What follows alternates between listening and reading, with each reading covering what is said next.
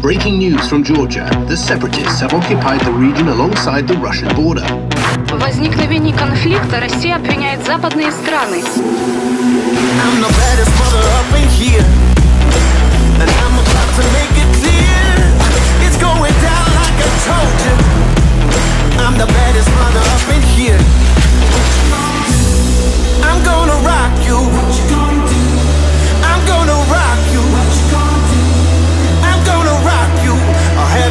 for mercy, begging for mercy.